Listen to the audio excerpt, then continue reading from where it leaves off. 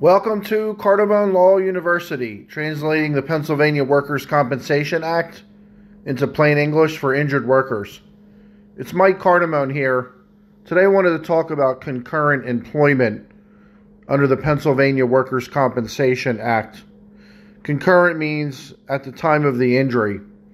So, what this means is if you were employed by two different employers on the date you were injured, in the course and scope of your employment, then the average weekly wage from each employer will be taken and added together to figure out your your total average weekly wage.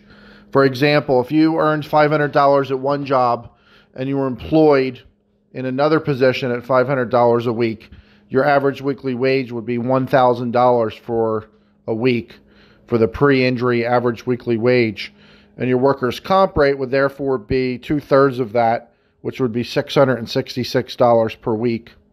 A lot of people don't realize this if uh, because we have a lot of people who are employed part time in different positions on the date they are injured. And so you want to aggregate the jobs to figure out the pre injury average weekly wage.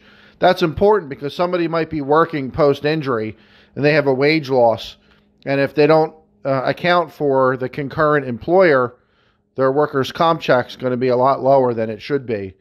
So um, this is another reason why injured workers want to talk to an attorney. Sometimes they're they're leaving money hanging on the tree because they don't realize that um, they should be looking at both the average weekly wage of uh, the employer where they got injured and the other job as well. Um, so this is forgotten and not analyzed properly by a lot of people. Self employment income does not count. Um, and nor does it count if you are just applying for a job, a second job on the date of your injury. If that's the case, then the average weekly wage will just be used for the employer where you got injured. You have to be actually uh, employed um, on the date of the injury by the concurrent employer. So make sure if you have any questions on this, you call us. It's 215 206 9068. Uh, you can go to our website, cardamonelaw.com, or you can email me directly. It's michael at cardamonelaw.com.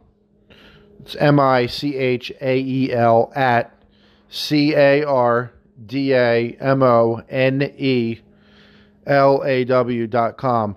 Again, this is called concurrent employment, and it applies where an injured worker uh, was employed by one or more, I'm sorry, two or more employers at the time of their injury. And it can be really important for the calculations in terms of the average weekly wage and the commensurate workers' comp rate. If you have any questions, let us know, and we'll talk to you soon from Cardamone Law University.